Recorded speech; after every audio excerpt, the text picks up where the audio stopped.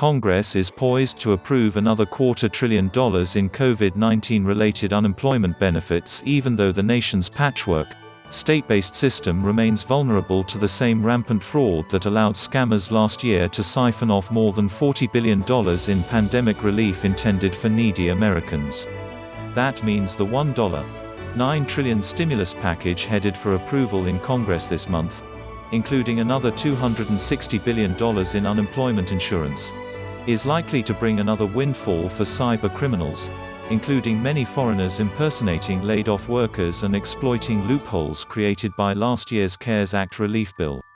It's like Christmas for the fraudsters, said Haywood Talcove, chief executive of information firm LexisNexis Risk Solutions, who says the government should adopt tougher anti-fraud safeguards to verify the identity, work history and location of applicants. I wouldn't let another penny go out until the government puts some of these tools in place to prevent it.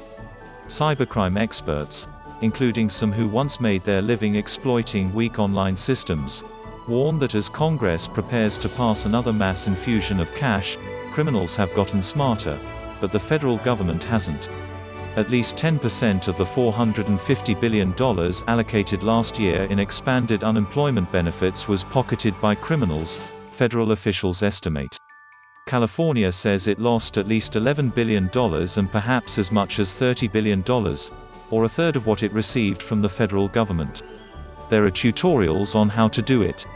There are YouTube videos, said Brett Johnson, who now advises federal law enforcement on cybercrime after being one of the FBI's most wanted criminals. They've left everything wide open.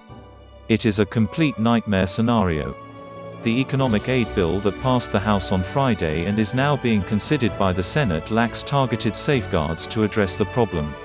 The House version includes $2 billion for improvements to state and federal unemployment systems, but the money isn't just to help states prevent fraud.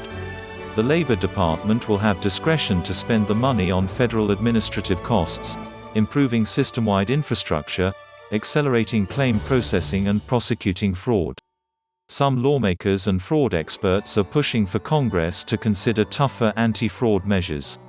Senate Finance Committee Chairman Ron Wyden, D.O.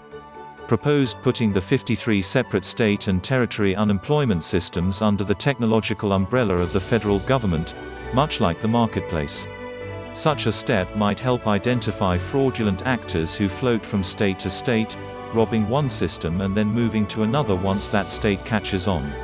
States would still run their own programs governed largely by state laws, but the federal government would manage the technology side. His $500 million overhaul would take two years to implement.